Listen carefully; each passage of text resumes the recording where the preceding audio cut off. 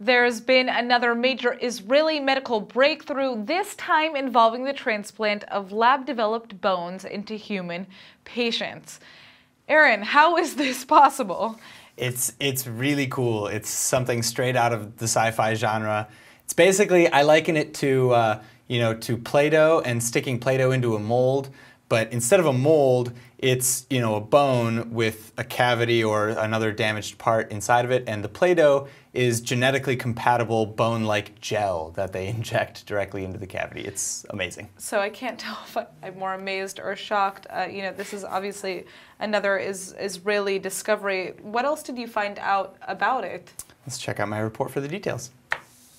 For the first time anywhere in the world, an Israeli biomed company has successfully provided patients suffering from bone loss with artificially grown human bones. The procedure involves the injection of a semi liquid graft directly into the jawbone of people suffering deterioration there.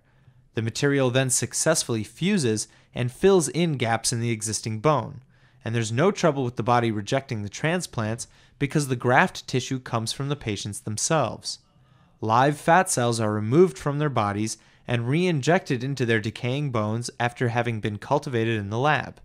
The regeneration technique, developed by the Israeli Bonus Bio Group, is expected to revolutionize the way doctors treat a variety of orthopedic problems and bone repair. Potential uses include joint replacements, which could help millions of older people regain their lost freedom of movement, and it's all done safely and swiftly without the concerns of tissue rejection or the need for surgery.